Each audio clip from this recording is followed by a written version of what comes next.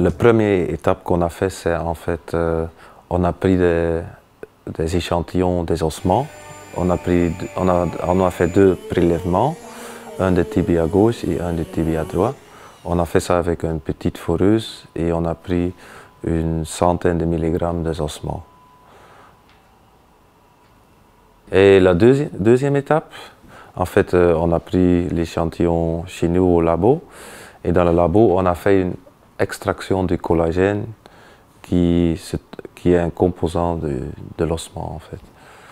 Euh, la troisième étape, euh, on doit convertir l'échantillon, le collagène, des ossements jusqu'au graphite qui est un mélange du, fer et du carbone.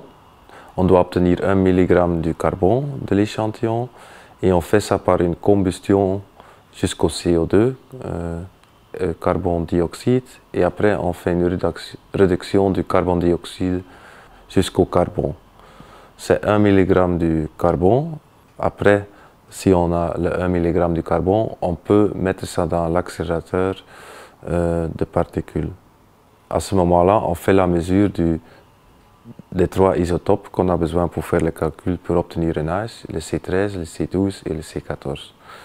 Avec l'accélérateur, on obtient la quantité des trois isotopes et finalement, on obtient un âge C14.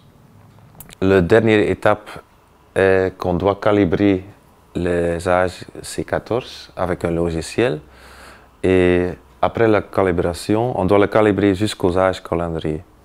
Et si on regarde les calibrations, on voit que le tibia droit donne une fourchette où le décès de Jacques de Vitry tombe dedans en fait.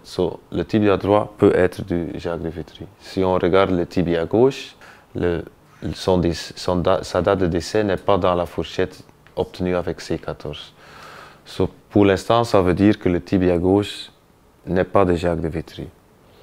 Mais pour l'instant, on entend encore les analyses ADN qui, qui peuvent confirmer que ces deux tibias, proviennent de un ou deux personnes. Si euh, les deux tibias proviennent d'une même personne, on doit refaire les analyses de ces 14 parce que ça veut dire qu'un des deux dates euh, n'est pas juste.